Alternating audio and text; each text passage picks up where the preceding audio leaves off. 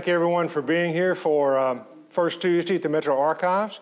Appreciate you coming. Uh, if you're viewing from home, thank you. Um, basically, today we have a, a special guest. Um, we have Sharon Hurt, who is uh, she's council member at large, and she's also uh, over the first district right now. Um, and she's going to speak to us about JUMP. It's the um, Jefferson Street United Merchants Partnership. Um, she's worked with that and brought it along quite well, and she coordinates the Jefferson Street Jazz and Blues Festival, which draws about 30,000 people a year. So it's, it's interesting to see, and I love that area growing. Um, next month in March, we'll have Debbie Watts. You may remember her. She was with the um, Tom Ryman Diaries, and she's going to come and speak to us about um, share, taking history to the stage. So that'll be next month.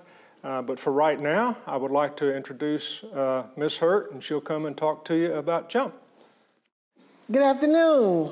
Good afternoon. Oh, now you know we're talking about Jefferson Street, and y'all got to do a little bit better than that. We're talking about where it was jumping. So we're gonna try that again, okay? Good afternoon. Good afternoon. Yes, that's what I'm talking about. Talking about Motown and coming down through there, everything he said was just a perfect segue for me to tell you about Jefferson Street and the way things were back in the 40s and 50s and 60s because it was absolutely happening right then. If you just close your eyes and think about lights everywhere, people everywhere, and you walking down the street and you walk around and say, Is that Little Richard? Oh my God, you go on a little bit further. James Brown, oh my God, Aretha Franklin. That's the way it was down on Jefferson Street. Well, should I say uptown Jefferson Street? It was absolutely happening. It was the wonderful thing. Jefferson Street was the main artery for the black community. And it was the entertainment, the music that made it such a rich, rich history. That, along with the institutions that are there, you've got Tennessee State University, Meharry Medical College, Fisk University, and even American Baptist colleges across the river, but they'd sneak over there. I mean, you know, they're ministers, so, you know, they were there for church and they were not there to go to the nightclubs. But we had about 17 nightclubs on Jefferson Street during that time. And anybody heard of Jimi Hendrix? Now, I know some of you know, but do you all know how Jimi Hendrix got to Jefferson Street? Do you know? He was in the service, he was in the army, and he was stationed over at Fort Campbell. And he heard about all of this good music over there on Jefferson Street, and he wanted to come and see what it was like. Got over there and saw people like DeFord Bailey Jr., who get on that bass and just do it to him. And then he saw Johnny Jones and just so many others that were there. And he was like, oh my, I am home now. And he took off. Once he, you know, Johnny Jones said that he and Jimi Hendrix went at it one night and he was like, and they were just playing and playing and playing. And he did his thing and Jimi did his and he came back and did his and Jimi did his. And he said, then he just flipped this switch and just took it to a whole nother level. And he was like, I mean, everybody just went wild and crazy. And he beat Jimi Hendrix. Jimi Hendrix didn't know he just out amped him. His amp was just a little bit louder than, than, than the one that Jimi had. Jimi couldn't bring the amp all the way from Fort Campbell, but that's what it was about. I mean, we had anything and everything that you wanted on Jefferson Street the nightclubs, the Ritz Theater, all, there was a bowling alley, a skating rink, all kinds of eateries. And in the mix between of all of those things is where residents were, where they lived. You had the doctors, the lawyers, the dentists, all of the people, educators, all living right there in the same community next to each other. And they were there, you know, back in the day, you would get the, the, the doctor had a doctor's office and they also fixed televisions in the office and you can get your iron fixed over there and all of those things and it was just a wonderful community and the people there had money to where they could support all of these things. And, and uh, I hear that, that uh, Muhammad Ali was over there once, Bob, and over at the Del Morocco. You heard of the Del Morocco. That was his favorite. And he was there one night, and the police decided that they wanted to pay a visit over to the Del Morocco. I don't know why they did everything legally, but they had to come over to Del Morocco, and they got some students from Tennessee State. I don't know, you all know Michael McBride, he's an artist. Yeah. One of his older brothers said that he had to sneak in the back door, get Muhammad Ali, put him in the car, and drove him out. He had to go, he, had, he couldn't even cut his lights on. He had to drive all the way from Jefferson Street to 65 with no lights to get uh, Muhammad Ali on, the, on his way back to Louisville, Kentucky. So nothing could happen to him. But it was the days. There was another gentleman said that he was there and uh, he wasn't supposed to be there. He was about 14 years old. And he was looking out, and there was Aretha Franklin. And he was in there smoking a cigarette. And she looked at him and she said, Give me a drag off of that cigarette. He gave her that cigarette and she pulled off of it and gave it back to him, and it had bright red lipstick on it. His son said that his dad still had that little cigarette that Aretha smoked on. It was so, so funny. But there was so many stories like that that were on Jefferson Street. And it was just amazing. I know Cab Calloway and um, Duke Ellington was at the Ritz Theater. You think about those people. At the same time, you had Langston Hughes and um, uh, Arna Bontemps over at Fisk University. All of these names of people who've done some outstanding things right here in Nashville. And there, you know, it was all started by the Fisk Jubilee Singers. Because Nashville is known for Music City, and many would think it's because of country music, but it's actually because of the Fisk Jubilee Singers. They were traveling all over the country and Queen Victoria saw them. And she said they sang so beautifully that they must be from Music City, USA. And that's how Nashville got that name. So they came back because they were raising money for them to be able to continue to go to school at Fisk University. And they raised enough money for them to go and for other scholarships for students to be able to uh, take advantage of those scholarships and, and, attend school. And that's the way it was done, that we all worked together. It was a united effort for us to make things happen for the greater good of us all. Those were the days, they were the glory days, the glory, glory days on Jefferson Street. You know, they had a cotton club in uh, New York, in Harlem where everybody would go to. And they dress up with their long gowns and all of their sparkles. Nashville had their own version of the Cotton Club. It was Brown's Supper Club. They even had one of the long chandeliers that they had in Harlem. And people would come every Saturday night. They couldn't wait to get off work so they could dress up and go to the Cotton Club. But you know one thing I had? There was a club called Club Revillot. And there's a gentleman here that stays over there at the Hilton Hotel every now and then, says that he loved Club Revillot. His name is Richard Penniman. You might know him as Little Richard. He says he loved it. He loved Club Revillot, and Revillot is named after a gentleman whose last name was Tolliver. So that's where Revillot comes from. It was, it was Tolliver spelled backwards. Yeah, mm, isn't that something? And that's how we came up with the name. But you had the Club Revillot and Good Jelly Jam, and you had the Brown Supper Club and Del Morocco, Club Stillaway, Club Baron was is, is the only club that we now have standing on Jefferson Street that was there back in the day. And it's uh, now the Elks Club, where the Elks Lodge resides. That's the only club, and it was called the Club Baron. And so it was glory days during that time.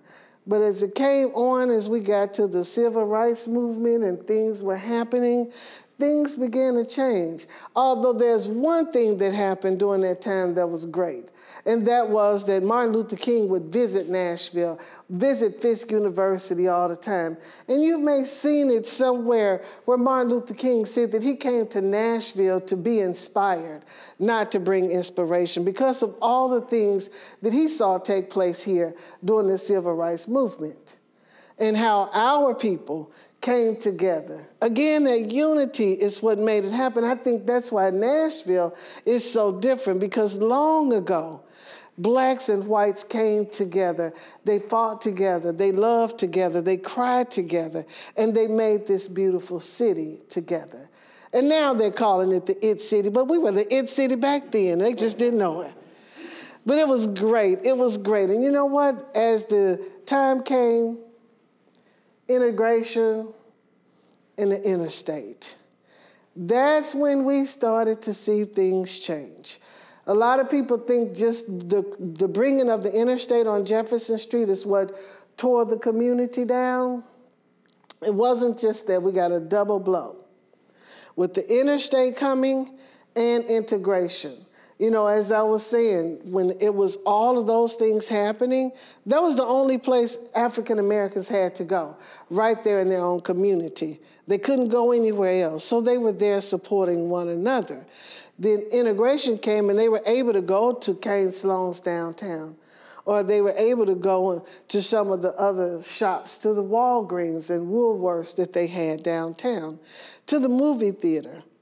And therefore, they were leaving the Ritz Theater to go downtown. And the interstate also played a major part. But you know, blacks and white came together with that. TDOT decided they wanted to bring an interstate through, and the community said, no, we don't want it. There were professors from Fisk, Meharry, and Vanderbilt who came together and they fought it. I mean, they fought hard. And it must have gone two years before a decision was made. It went all the way to the Supreme Court before it was determined that they could actually bring the interstate to Jefferson Street. And then is when it basically brought things down. Because doing before all of that time, we had about 60,000, almost 70,000 people living in that North Nashville community. Can you imagine 70,000 people coming and living in that community, able to support the businesses? It was flourishing. It was viable. Commerce was great. The economy was good. As soon as that interstate was finished and complete, half of the residents were wiped out. So it immediately just, and the business community, wiped out. So you didn't have the people who were living there with the kinds of incomes that we needed. And, and, and you had um, people who left because of their friends leaving, because the church left, the businesses left, because many people had the businesses uh, in the same building that they lived in. We're moving back to that now. You know, things evolve, history does repeat itself. And we're going back to that model now. But back then, a lot of people lived in the same building that their businesses were. And they had to leave and moved way out. And that made it a problem for the Jefferson Street community because we no longer had people there who could actually support the businesses and unfortunately, because you didn't have as many people there supporting it, in order for people to survive, they had to raise the prices on a lot of things that they had. And when you have the community of people who are not making the same kind of money, it just goes down and down. And probably every 10 years, in this, it was 60,000 people in the 60s. In the 70s, it went down to about 50,000. In the 80s, it went down to about 40,000. In the 90s, it went down to about 30,000. In the mid 90s, between 95 and 2000, we had about 23,000 people living in that community. It had gone down. And not only that, but you had a lot of vacant buildings at that time. blighted areas because you had people who left, moved out of town. The kids that were growing up during that time, gone to school, graduated, moved to different places, and there were absentee landlords, and they didn't really take care of the property. And we still see some remnants of that now. And it was really, really hard. Hard for the community, hard for the people there. People didn't want to come. You know, it was kind of isolated because you couldn't get through. You know, everything basically came to that community and it stopped. Interstate came in and you got dead ends everywhere. You go straight to, to Scovel Street, they used to go the, the length of Jefferson Street from East Nashville to West Nashville, and it stops because of the interstate. Picks up on the other side and go for about a block and it stops again. So it's just disconnected, disconnected from everything and all of the people that were there. You know, some things that are there were there then are still there, like the Citizens Bank. It was called One Cents Bank, and they started there in 1904, and they're still there today. Odie Center, some of them survived, but most of them did not. Most of them had to leave, moved out. And some of them were paid. They, they, they sold their properties and they were bought. And you know, I didn't find that out. I thought they were all just totally displaced. But I did a, my dissertation, uh, getting a master's degree in nonprofit leadership at Belmont, and found that, um, that many people were offered money to, to leave and to sell their homes in order for them to bring the interstate, where it had been seen, thought by many that it was just a displacement of people which was, you know, it, it was bittersweet for me to find that out because that means that some families got money and they did well, got bigger homes, opened up businesses, and they were able to do much better. But it had seemed before that it was just the it was the worst that they came in and pushed us out and we had nowhere else to go. But that was not quite the truth. But then you get to the 90s and, hmm, we were down, but we weren't out. That's what I say. That it was hope alive. If you go on Jefferson Street today, you can feel the spirit there. You can feel the ancestors there. Because there's greatness in that community. There's greatness all over. All of those people that I talked about that made it happen during that time, they left something there and it was great. And I know I still feel it. I think I get things, I glean from those people who were there in order for me to keep going and keep doing what I do. And, and it made a difference. You still had churches like the Schrader Lane Church was on Jefferson Street and it was called the Jefferson Street Church of Christ. And they had to move, so they moved around the corner to Schrader Lane, and they're now Schrader Lane Church of Christ. And some of the other churches that were in the community helped. The universities being there helped maintain and sustain that community. They're the pillars of that community. And then they got this organization. You know, uh, Councilman Ludye Wallace was the councilman of District 19. And that district has a lot of Jefferson Street, and it also brings in quite a bit of downtown. And Ludye Wallace saw that there was this organization called Downtown Partnership that supported the downtown community. And he said, Well, can we get an organization to support Uptown Nashville? And that Uptown he called Jefferson Street. And they got a little money and they created this organization called Jump. How befitting, because we had to jump up and make some things start jumping. And I think that, that from that point on, things started to change. Things started to be different. And it started, as a matter of fact, Jump received its designation as a 501c3 in 1996. So that means that we're celebrating our 20th year this year. How about that? Isn't it great?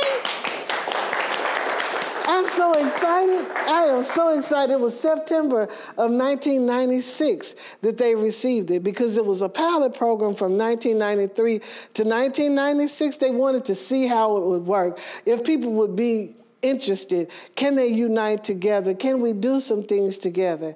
And it did, and it happened. And we were able to put all that information together and send it to IRS and say, we want to create this organization called JUMP, the Jefferson Street United Merchants Partnership. As I told you before, it was the unity of people that came together to make it all happen. And I think that's what's going to continue to make it all happen is the unity of us as people together, united to make it all happen. But we got that thing going called Jump and got some redevelopment districts over there, the Phillips Jackson Redevelopment District, 1995. And they decided that they were able to get monies in order to build up the community. And it's interesting how you have the opportunity or you get the authority to do things, but it takes years for it to develop into actually becoming something. And you know, we had Germantown during that time over there too, which was also predominantly black, and, and the area was not uh, a place that people really wanted to come and be. Salemtown, there were some beautiful structures and beautiful homes, but the community in the area was not well taken care of.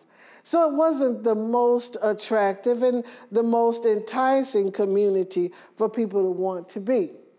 But as I said, Jefferson Street was going on. Terry Chapman was the first executive director of Jump and did some amazing things in setting that foundation. I came along in 1999, and I'm originally from Memphis. And I thought when I came here, this was the best place in the world. I'm like, oh my God, I cannot believe you see how clean it is here. And I was just looking, and they were telling me, I, my husband was my boyfriend at the time, and he was in school at Fisk. And I went over there and I told, I was talking to some of my classmates at Tennessee State and told them that I wanted to, um, that I was going to Fisk, and my husband's dorm was over there by um, these townhouses. And they were like, what townhouses? I said, townhouses over there. Is they on a street like uh, called some man's name Joe Johnson or somebody, and those townhouses over there. I said, there no townhouses over there. I'm like, yes, they are. They're real nice townhouses. They, you know, and they said, girl, those the projects.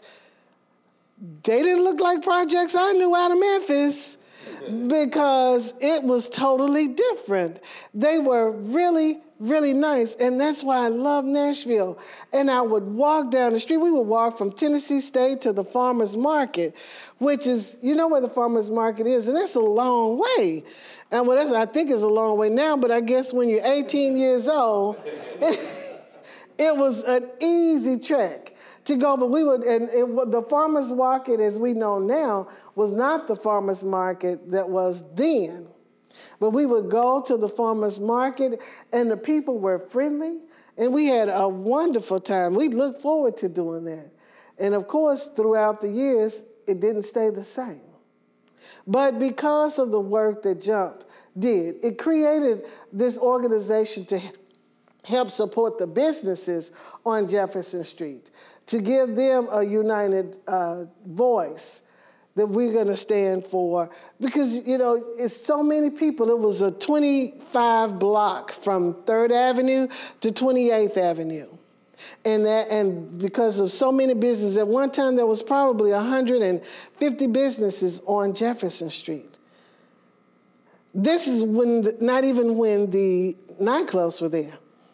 This was in the 90s and the early 2000s and, and within that time we did have a lot of blighted areas, a lot of absentee landlords, and people not doing what they needed to do with the properties. We were down, but we were not out. We knew that there was hope, and we're going to keep hope alive. And we were just going to do things little by little. So I came on with Jump in, 1996, in 1999, and I was upset because they never cut the grass over there. So I called TDOT and I said, you know, you all need to cut the grass. And they would come and cut the grass, and they would not come back again until I called and tell them they need to cut the grass again. I'm like, now this just doesn't make sense. I don't understand. And you know, 1999 was also a big year for us because there's this sports team came to town. I don't know, you might have heard of them and had a couple of people known their names, like Steve McNair. Anybody know him? Or Drew Bennett, you know him? Uh, Eddie George, yeah, yeah, he was a Heisman. So I don't know, was it Tennessee? Were they the Oilers? They came during that time, and then they uh, came and named them the Tennessee Titans. Yeah, and then I think in that year they won several games and moved on. In that AFC championship, they won and went to the Super Bowl. And I'm like, wait a minute, these guys doing all of these wonderful things and these great things, and they making a lot of money. And their practice field is a chip shot away from Jefferson Street. Even where they play on Sundays, you can throw a baseball over there, and if they making a gazillion dollars, some of that money needs to come to Jefferson Street. Doesn't that make sense? I mean, especially since most of them were of African American descent, and it looked like to me that they should be trying to invest money into their own community. Doesn't that make sense? Am I the only one to see that? Does that make then it kind of goes together, right? Yeah. Does it go together right? Yeah. Okay, then we're gonna do this again like we did it. That makes sense to me because you know you had all of these guys of African American descent. They were playing football and they were making a gazillion dollars, and I just knew that they could invest money into their own community and make it a better community. Didn't that make sense? Yeah. Yeah, that's what I'm talking about. That's what I figured. I said, now they need to do something over here for us. And I just don't know what it is. And it's just something that has to be done because this just doesn't make any sense to me. And I'm calling, asking to cut the grass over here. And I'm watching Channel 5 News. I have to give kudos to Channel 5 all the time, watching Channel 5 News. And they said, Do you know that Eddie George is graduating from The Ohio State University with a degree in landscape architect? I was like, What?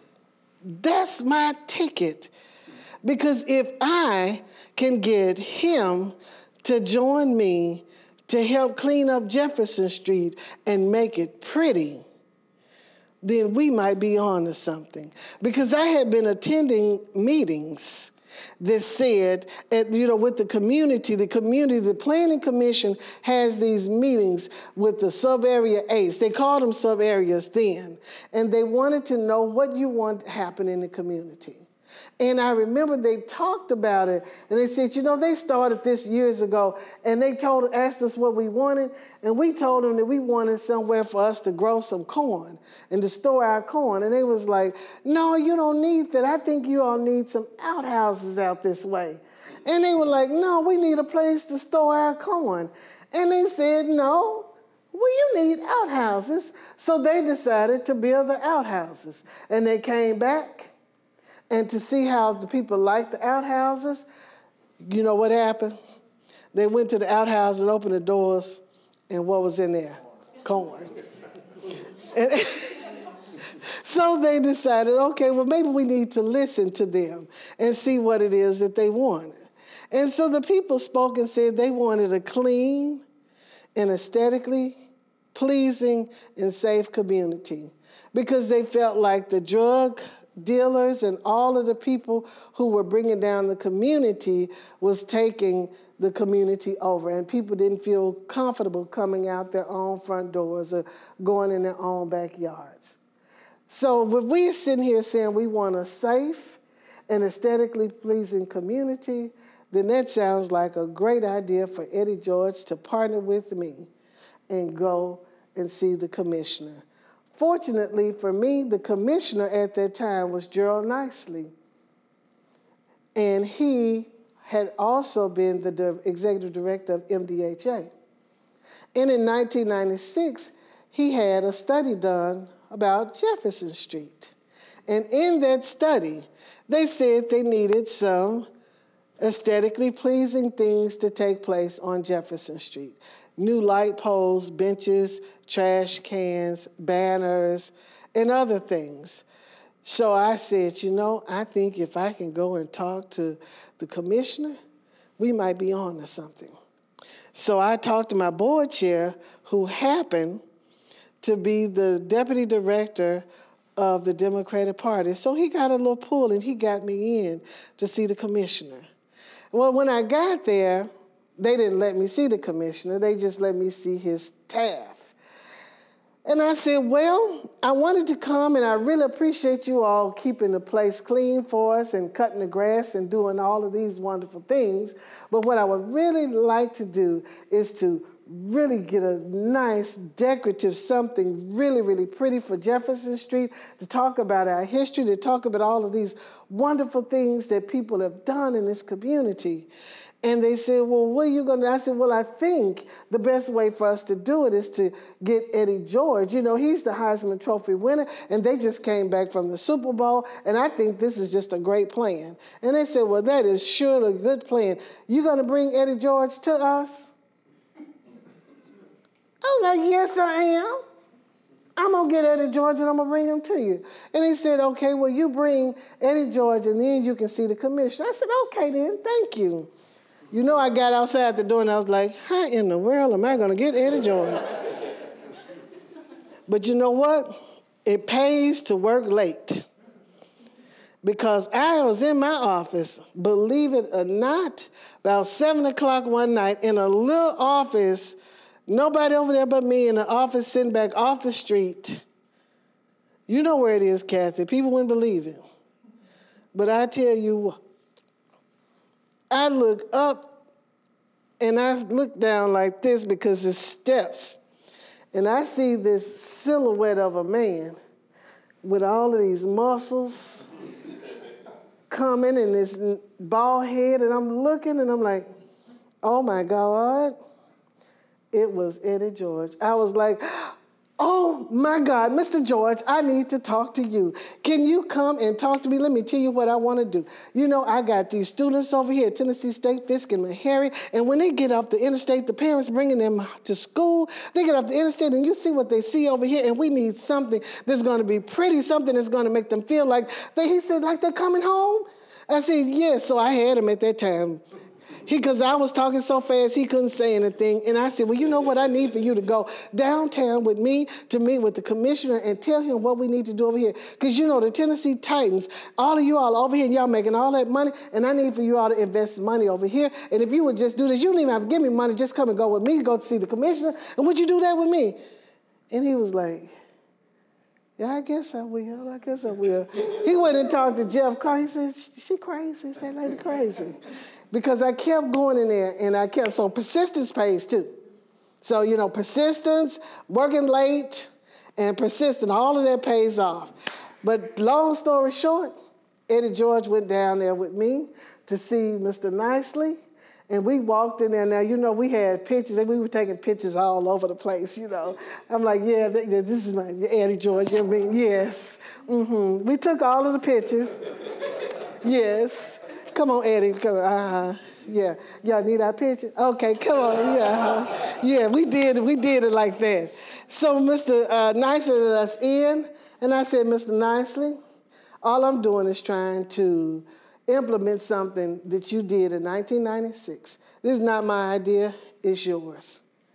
And I just want to implement it. If you put a 20 year study together and all we do is put it up on the shelf, what was the purpose of paying all that money? Let's make it happen. It's still good. And that was like in 2002. And he said, You're right. Let me see what I can do.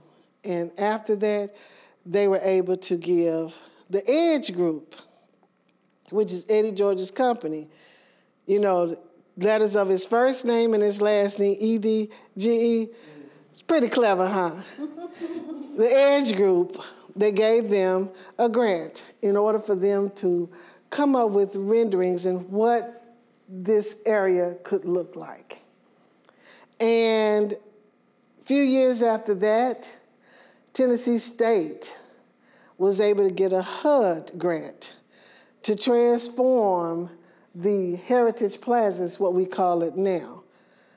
And the, the, the, the, the whole project was called Gateway to Heritage. It was landscaping for the Jefferson Street community and then the Heritage Plaza.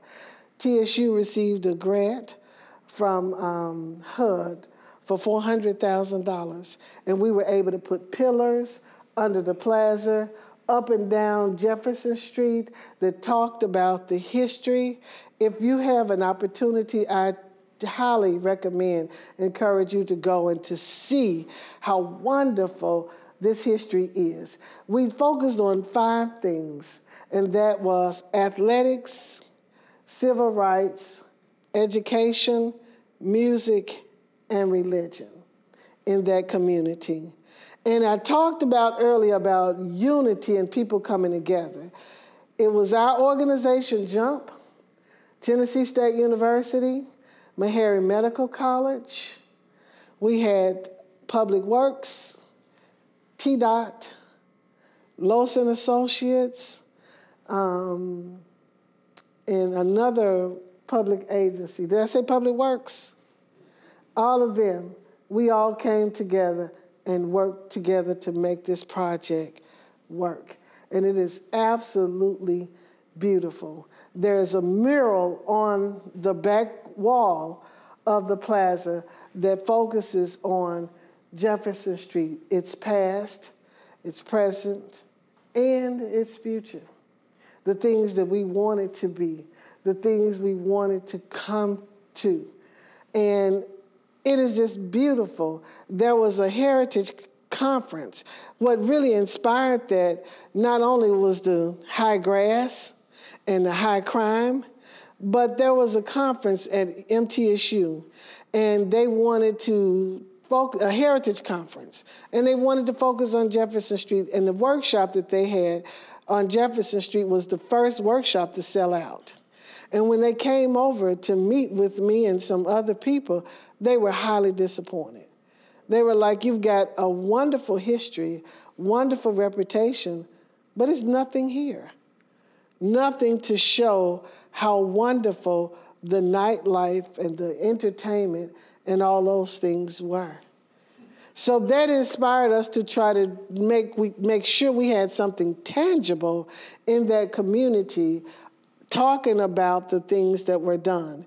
Because when you think about it, from then to now, you know, they're celebrating a 50 year Super Bowl. The, the, the uh, NFL has contacted President Glover at TSU, invited her to come to the Super Bowl because when that started, when the Super Bowl started, Tennessee State had more players go to the Super Bowl than any other one institution at that time. It's unbelievable, isn't it? But it did. I'm gonna tell you something else that you probably didn't know. The first interracial tennis match was played at Fisk University in Tennessee. People didn't know that. Did you know Tennessee State had five people to play for the Harlem Globetrotters? Isn't it amazing of the history? So much history. It's just absolutely beautiful. It gives me goosebumps. But you know, from the time that I started at Jump in 1999 to today, I've been telling people how wonderful that community is, how beautiful it is. And some people listened. Some people heard what I was saying. People saw that Germantown had beautiful structures, beautiful homes.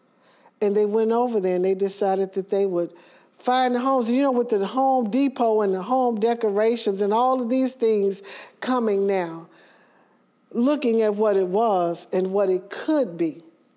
And that's what they have made Germantown and Salemtown. Not looking at what it was, but what it could be. And that's exactly the way I see Jefferson Street. Not necessarily what it was, but what it could be. Who would have thought that we would have a Nashville Sounds Stadium, brand spanking new, as my daddy would say, on Jefferson Street? Who would have thought that? All of the wonderful, wonderful buildings that are there and that are coming. It's a beautiful thing. We were down, but we were not out. You know, you got to get knocked out three times before they call it. We were just down, but we were not out. And I think that we're well on our way from where we were to where we could be. We've had Grammy Awards with the Night Train to Nashville, the music celebrating. So now we have things that are tangible that people can see about this history. You talk about some brilliant minds. You know, Booker T. Washington used to spend a lot of time at Fisk University. All of these names, George Washington Carver, these names in history. John Hope Franklin, a graduate of Fisk University. W.E.B. Du Bois, you know it? Yes. Even the uh, guy who came up with uh, our black national anthem. James Weldon Johnson. Who was the, who was that intellect in this room know all that? Yes, yes. But it's beautiful, and I absolutely love it. And also to celebrate the wonderful music, Jump has an annual Jazz and Blues Festival. By the way, which is coming up this June, June 17th and 18th. We moved it from off Jefferson Street, and it's now at the Bicentennial Mall because it's a structured area, absolutely beautiful room for the entire family. And, and I think this year we're going to focus on some blues. We've done jazz and we've had R&B, but we're going to focus on a little blues. But I know I Will Survive, Gloria Gaynor. Heard of her? Mm-hmm. What about Mississippi Boy? Charles Jones. I'm a Mississippi boy. You heard of him? He's a new blues guy. Bobby Rush. I know you know Betty Wright. Tonight's the night. Yeah, so we're gonna we're gonna do it big. So we hope that you will come out and join us and enjoy the live and fabulous music on Jefferson Street and help us create not what it was, but what it was meant to be. Thank you very much.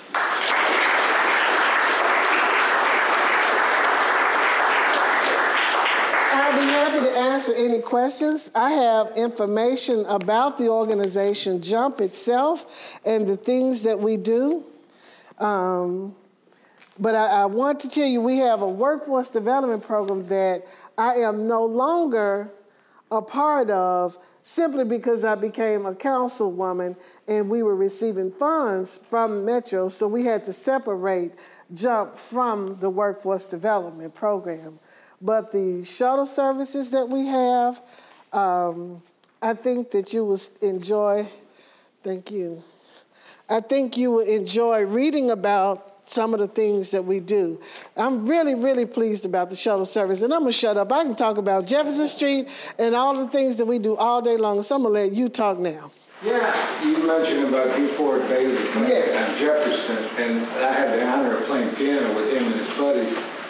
And I was just, uh, no matter what I played, he was just all over. It yes. great. And I hear him sitting with this guy that played with Ray Charles and Duke Ellington so I had to ask him, I said, I understand that you played with uh, Jimi Hendrix. And he goes, no, Jimi Hendrix played in my band. That's right. and later, Hendrix said he really learned how to play in Nashville. Yes, yes. So I, that was a great night. I enjoyed it. Yes, and you know, Jimi Hendrix had a group called the Gypsies. And Billy Cox was one, it was a three man band. And Billy Cox was one of those guys, and he lives in Nashville. He had his residence here. Although he was not from Nashville, just like me, but came here and couldn't leave it. It's something infectious about it. Yes. Yes, ma'am. What do you, do you have anything like on the horizon, any projects specifically that you want to see? Well, I don't have any projects but there are some developers that are doing projects. First of all, MDHA is doing a development at 10th and Jefferson in front of the Hope Gardens, which Hope Gardens to me is the model transformation of a community that went from chaos to community because they were a part of the Jefferson Street community, but they didn't get quite affected as much as the the west, the further west, down towards uh, Tennessee State, where the major intersection, uh, interstate was done.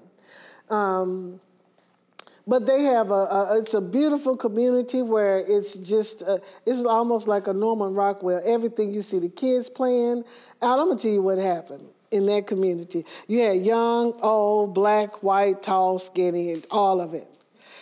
There was a young man who was living with his grandmother involved in a lot of drug activity.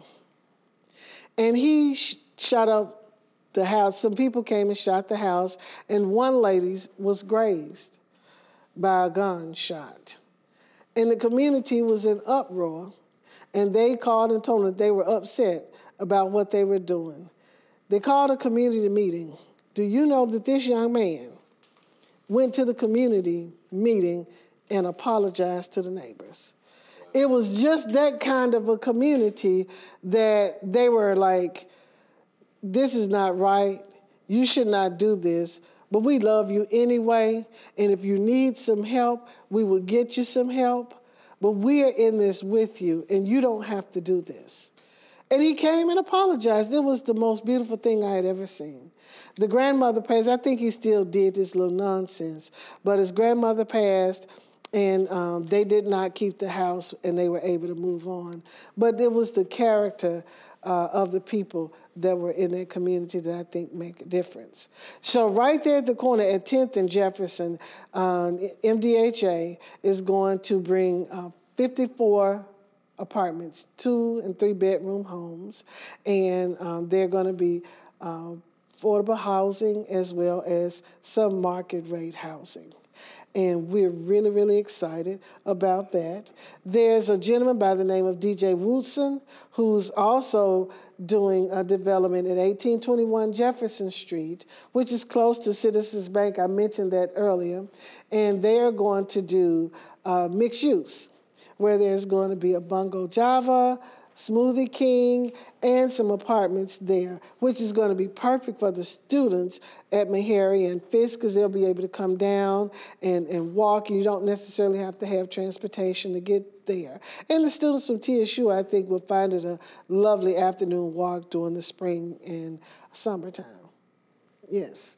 There's one more the Hardy's Barbershop right there. And see, a lot of people don't know, but right next to the Harvey's Barbershop used to be the Ritz Theater, the first Ritz Theater.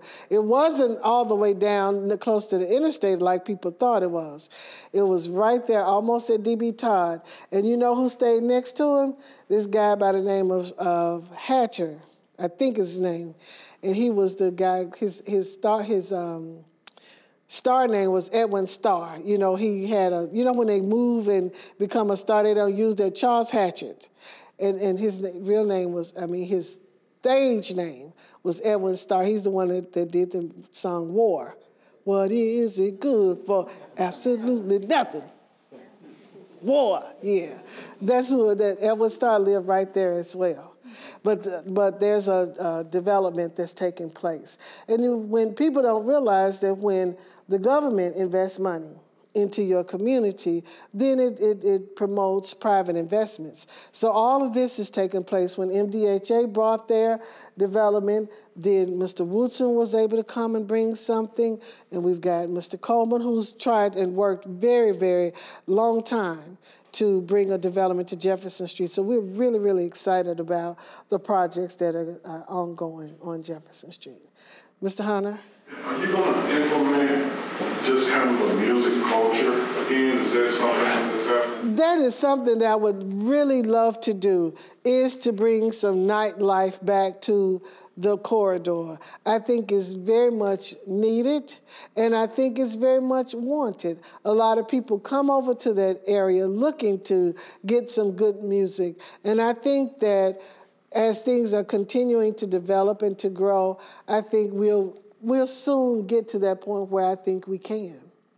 You know, a lot of people have tried here uh, lately, but I don't think that the community was completely ready for it. You know, it's still in the transformation period, and I think one day we will get there.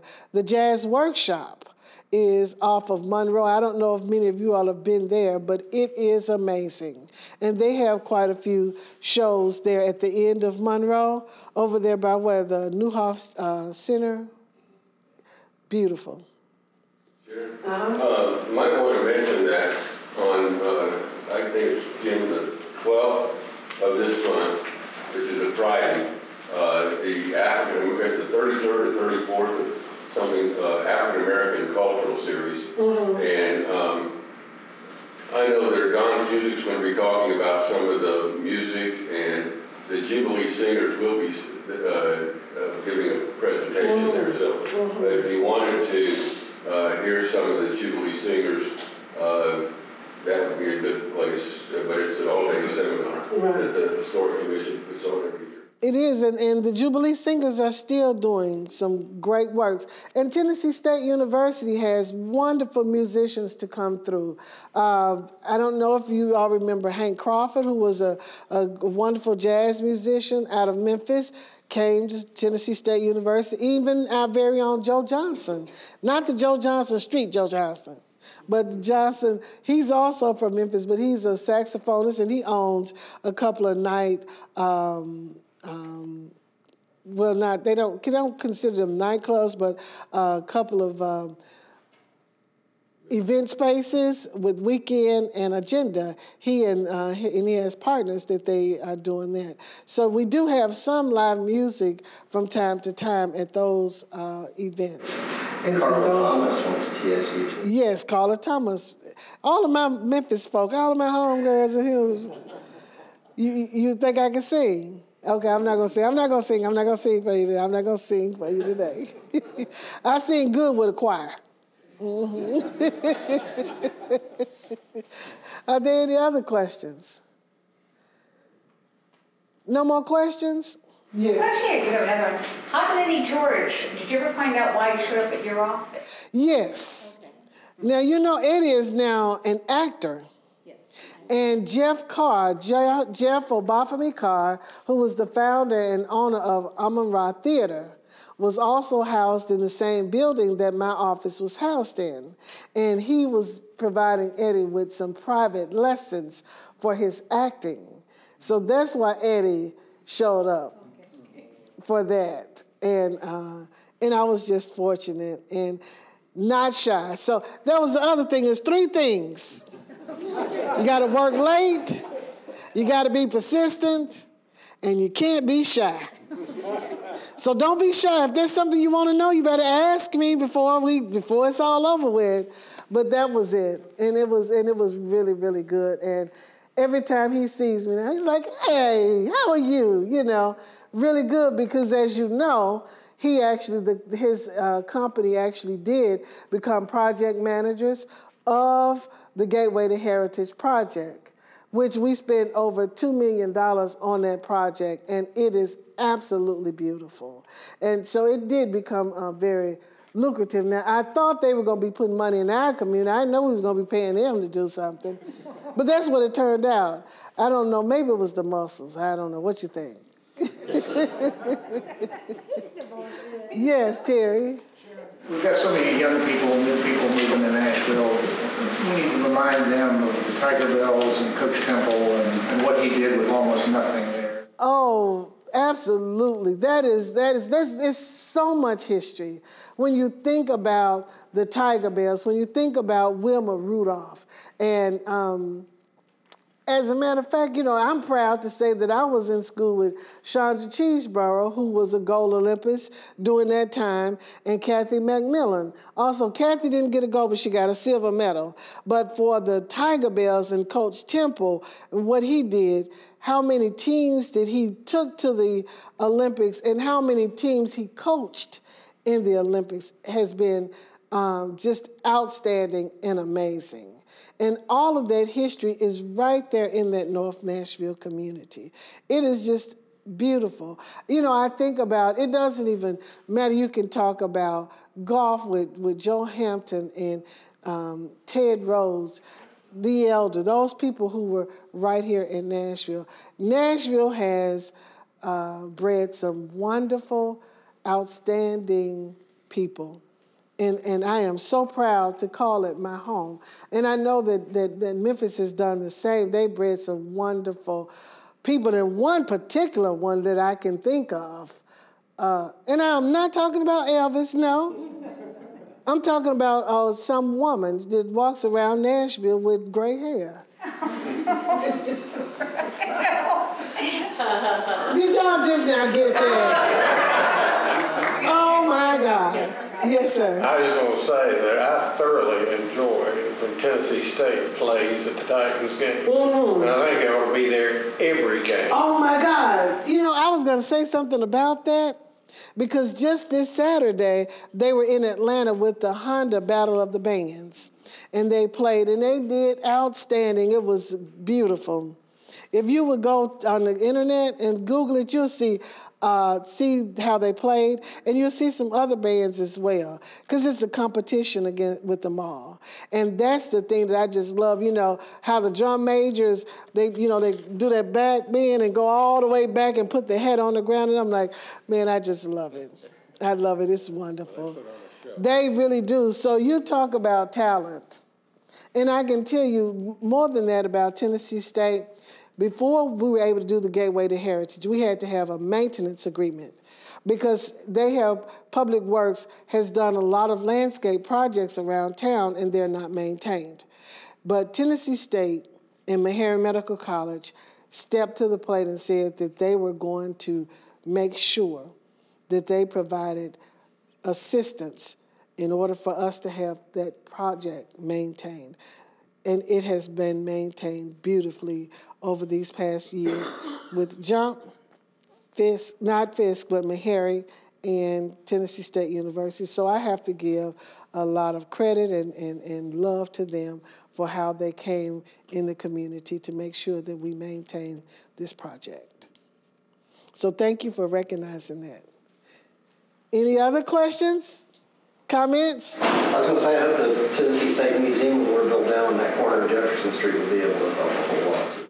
Oh, I think it's going to bring so much uh, to that community. You know, I think right there that we're going to be able to bring it all together because we've got the Van Vechten Art Gallery at Fisk, and we're going to have the Tennessee State Museum. So from one end to the other end, you're going to be able to just see and do any and everything. And I know um, uh, Greg Ridley, who was responsible for a lot of the copper work that you see here in the Nashville Library. He was an art professor at Tennessee State and Fisk University. And the art that he has done is just amazing. So I, if you do, take a time, call me. I'll give you a tour if you want to. I'm serious. I'll give you a tour. I'll talk to you and tell you because, like I said, I can talk about this all day, even though I don't think the council's going to let me talk about it all day now because I got so much work to do. But anytime, I'm going to give you my card. You can call me, and I'd love to, to take you down there and show you around. Thank you all so much. You've been wonderful. Well, I want to thank Sharon for being here today and taking time out of her schedule to be here. And, you know, if you ever want to meet the archivist, bring Eddie George. That would be really cool. But, uh, you know, hi, you know. yeah. All right, anything else? Um, be sure and come back for our March 1st Tuesday. Have a good afternoon.